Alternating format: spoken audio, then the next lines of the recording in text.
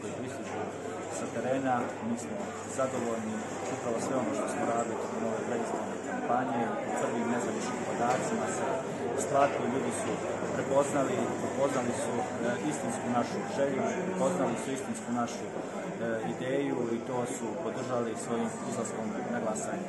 Već sa e, mobilizacijom izlaskom našeg glasačkog tijela mi smo duboko vjerovali da već od sutra će srpska zajednica svi ostali građani koji istinski vjeruju u ravnopravnost e, imati pravo predstavnika u gradskom vijeću.